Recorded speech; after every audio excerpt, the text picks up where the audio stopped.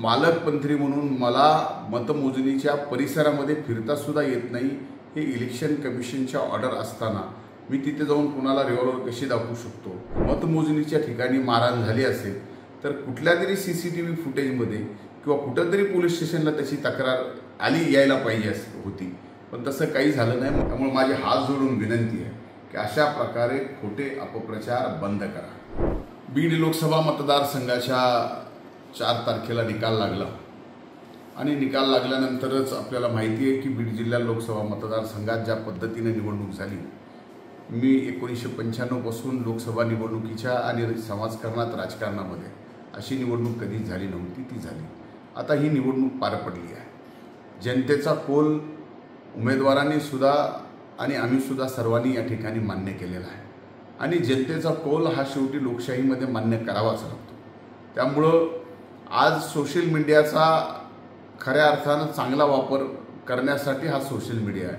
पण हा सोशल मीडियाचा वापर चांगला करण्याच्या ऐवजी ज्या पद्धतीनं वाईटप्रमाणे करण्यात येतो आहे की कुठंतरी मी बूथवर जाऊन मतमोजणीच्या ठिकाणी जाऊन रिव्हॉल्वर काढली मी कुणावर तरी हात उघडला या संदर्भामध्ये अशा पद्धतीच्या ज्या काही बातम्या येत आहेत त्या अतिशय खोटारडेपणाच्या अतिशय जातीपातीमध्ये द्वेष निर्माण करण्याचे आहेत.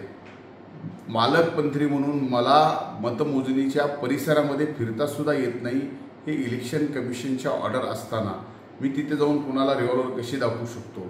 आणि तिथं जर कुणाला मतमोजणीच्या ठिकाणी मारहाण झाली असेल तर कुठल्या तरी सी सी टी व्ही फुटेजमध्ये किंवा कुठंतरी पोलीस स्टेशनला त्याची तक्रार आली यायला पाहिजे होती. पण तसं काही झालं नाही. मतमोजणीच्या वेळेला दोन्हीही पक्षाचे महायुतीचे आणि महाविकास आघाडीचे दोन्ही पक्षाचे कार्यकर्ते मतमोजणीला तिथं असताना अशा पद्धतीचा प्रकार कुठं घडू शकतो आणि घडला तर ते लपवू शकतो असं मला बिलकुल वाटत नाही. त्यामुळे माझी हात जोडून विनंती आहे की अशा प्रकारे खोटे अपप्रचार बंद करा. आणि एवढंच नाही तर माझी दोन्ही महायुती आणि महाविकास आघाडीच्या सर्व सामान्यातल्या सामान्य गाव पातळीवरच्या कार्यकर्त्याला विनंती आहे. हात जोडून या जिल्ह्याचा पालकमंत्री म्हणून. की सामाजिक सालोखा आपल्यालाच या ठिकाणी कायम ठेवावा लागणार आहे. निवडणूक झाली. जय पराजय झाला महाविकास आघाडीचा जय झाला आमचा पराजय झाला तो आम्ही स्वीकारला. त्यामध्ये आपण म्हणतो क्या हार में क्या जीत में भयभीत नाही किंचित में जीवन पथ जो भी मेला यही सही वही सही. पण या अशा पद्धतीनं आपण सामाजिक सलोखा पूर्णपणानं बिघडवणं आमच्या महाविका महायुतीच्या उमेदवाराच्या बाबतीत माझ्या बाबतीत अतिशय अश्लील प्रकारचे फेक व्हिडिओ तयार करून या ठिकाणी ज्या पद्धतीनं सामाजिक सालोखा सलोखा बिघडवला जातो आहे आमच्या बाबतीतही अतिशय आमची प्रतिमा एकदम वेगळी या ठिकाणी करण्याचा प्रयत्न केला जातो आहे माझी हात जोडून विनंती आहे महाविकास आघाडीच्याही आणि महायुतीच्याही सर्व कार्यकर्त्यांना की सामाजिक सलोखा जपणं ही आपल्या पुरोगामी महाराष्ट्राची गरज आहे. म्हणून छत्रपती शिवाजी महाराजांनी ज्यांना आपण दैवत मानतो जे आपलं दैवत आहे त्यांनी रयतेचं राज्य उभं करत असताना जो गावगाडा या त्या ठिकाणी बांधून दिलेला आहे अठरा पगड जाती धर्माचा जो आजपर्यंत तो अठरा पगड जाती धर्माचा गावगाडा हा अतिशय गुणागोविंदाने प्रत्येकाच्या सुखा दुःखात चालत आला. आज मात्र ते बीड जिल्ह्यात कुठंतरी वितुष्ट निर्माण करण्याचा प्रयत्न केला जातो आहे जात पात ही आचारसंहिता लागली मतदान झालं खरं तर विकासाच्या मुद्द्यावर ही निवडणूक होणं आवश्यक होतं. तसं झालं नाही. ठीक आहे जे कौल आहे ते आम्ही मान्य केलं आहे आम्ही विनम्रपणे आणि अतिशय मोकळ्या मनाने हा पराजय मान्य केला आहे हा विनम्रपणे मोकळ्या मनाने पराजय मान्य केल्यानंतर सुद्धा या बाबतीतल्या अशा पद्धतीच्या टीकाटिप्पणी करून सामाजिक सलोखा बिघडवणं हे दोन्हीही पक्षाच्या दोन्हीही आघाडी आणि युतीच्या कुठल्याच कार्यकर्त्यांना शोधणारं नाही.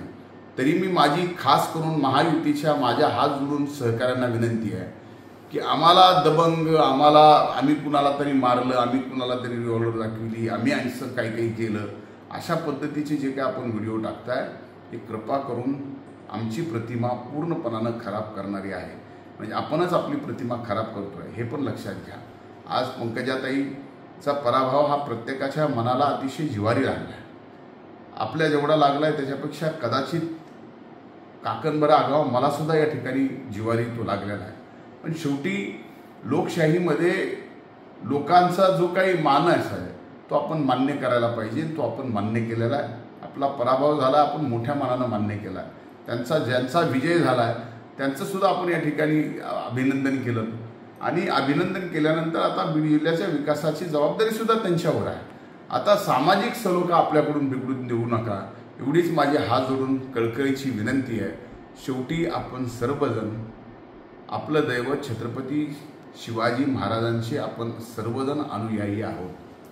साडेतीनशे वर्ष जो गावगाडा अठरा पगड जाती धर्माचा सुखादुःखानं गुणागोविंदा आणि आनंदाने या ठिकाणी राहिला जपला.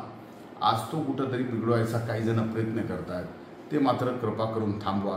हे कुणालाच परवडणारं नाही. हे कुणालाही शोभणारं नाही. आता मात्र निकाल लागल्यानंतर चार दिवसानंतर मी हे सांगतो आहे निवडणूक संपली आहे हा विषय संपलेला आहे कृपा करून आता एकमेकाच्या बदनामीचं हे राजकारण थांबवावं. धन्यवाद.